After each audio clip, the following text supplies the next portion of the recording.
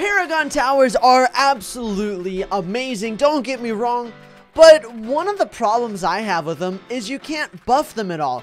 You can't use villages or alchemists or basically anything, and that makes it not as exciting and fun. So in today's video, we've changed Paragon Towers to allow us to boost them and buff them. So we're gonna do what every normal person does. We're gonna God boost Paragon Towers. If you enjoyed and you wanna see more of these types of videos, hit that like button, subscribe, and turn on notifications. Without further ado, let's hop into the video. So one of the problems is we actually can't ultra boost them, even though we've changed it. Ultra boosting still doesn't work on it, but that's okay.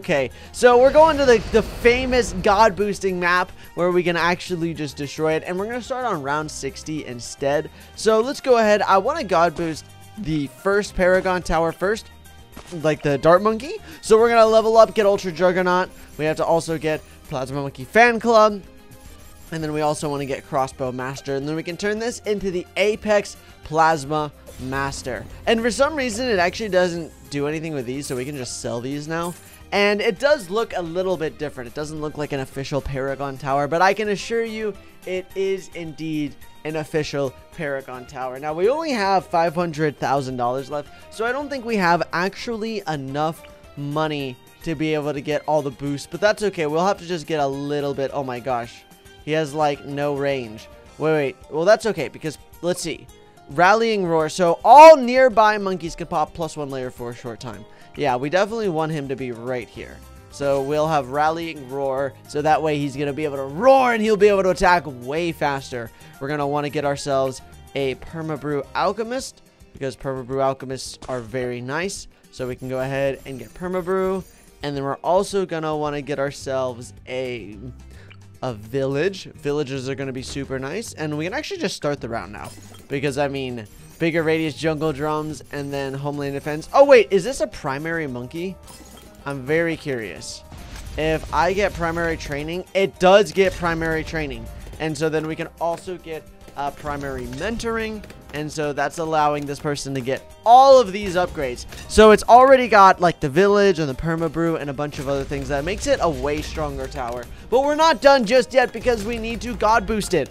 We need to get a sun god temple, all right? It's not going to be easy, but we're going to make it work. Do we want to make a little bit more money? I actually think I do want to make some more money. Because I want to be able to get... I want to god boost both towers this video. I want to be able to get the Glaive Lord and this tower. So let's just go ahead and I'm just going to make a little bit of money here. And we're just going to go ahead and throw some of these down and help us out here. And I really, really, really, really want to see how powerful it's actually going to be. That's why I told it to go all the way up to round like, I mean, I'll past round 100.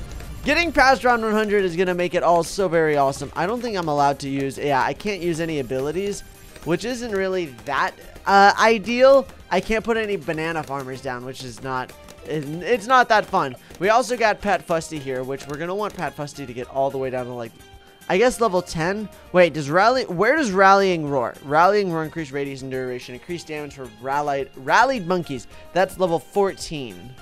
Is there anything else?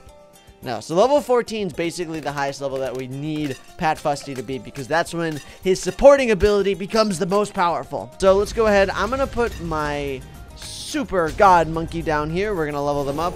And before we get a sun temple, we need to get $50,000 in support, which I think we can get from the XXL trap. Yeah. So we'll put this person down and then I'm going to go ahead and get the XXL trap. There we go. And if we need to, we can sell these, but all right. So there we go. Here's the first Sun Temple. And the Sun Temple is going to start getting us a little bit of money every round, which is only $5,000. We need to get more support towers. More support towers, I say. Let's go ahead. I guess, it, I mean, is it going to absorb... No, it looks like it might absorb these villages, but I mean, that's okay. I can always put the villages back down. We need to get like $500,000, so we do need to get a little bit more money here. We can sell these for 20000 each. So that's 20000 40000 60000 80000 So that sells for 120000 total dollars. Let's actually upgrade one of them to the Banana Central. So that way it makes all the other banana farms make us even more money. And I guess we can just put down some more banana research facilities. One, oh my gosh, bananas are everywhere. There's so many bananas. All right, now we want $50,000 in upgrades. So when we upgrade it, the next time to the True Sun God Temple, it's going to be max on the supporting tier. Because for those of you that don't know, when you upgrade into a Sun God Temple, whatever towers that you have down, whether it's primary, military, magic, or support, the Sun God will absorb that and make it stronger in that department. So if you have a whole bunch of magic down, well, that's when it puts down all the sun god temples and shoots those things. Military adds the planes that fly overhead. I'm not entirely sure what primary does, but I know support makes it so, well, it adds the sun god buff, as you can see right there, which increases attack range, increases damage. It's just probably one of the strongest upgrades that you can get, honestly. Like, realistically, it is super mega good. Wait, I think that's still not as good as I want it to be. I still want to get here, we can get that. I That's definitely enough money. Having all of that, that should be 50,000. I'm going to put one more down just to be safe. There we go. That's definitely enough. So now all we got to do is save up $500,000 in order to be able to get that. This tower is already bonkers. Look at that. We're at round 77 and we're still just absolutely cruising along. I really want to see what's going to happen though. That's the always the best part of all of the videos, right? Is when you get to the very end where you get to see all your hard work pay off. Where you've put all this effort into seeing, well, what's going to happen when we get to God Boost a Paragon Monkey, right? How good is it really going to be? Now, it's definitely not going to be as strong as like the tier, you know, the tier 1000 Paragon Monkey that we did in yesterday's video. So it's not going to be as good, but I still could see it being absolutely nutty. I want to see how fast it can take out this BAD. And then I want to swap it over to the Glaive and see what's better. Out of the two Paragon Towers so far, what do you think is your favorite? I probably think that this this Paragon is the most fun. The Apex Plasma Master. It's like, I don't know, it just looks cool, it's satisfying, it's fun to play as. We need $500,000, by the way. So this sells for 100000 We might be able to get it, but I'm just going to keep saving up on my money. So that way there's no worries because I also know that the other tower that I want to get is going to be like $400,000. This tower is also already made us $70,000. Like, look at how much money it's made compared to all of these. Because it makes you $5,000 every single round. All right, that's 300000 We can definitely sell these all now. So I'm going to go ahead and just sell these because that's, yeah, now we have plenty of money. We have $600,000. I'm going to upgrade this. Um, I'm actually going to sell...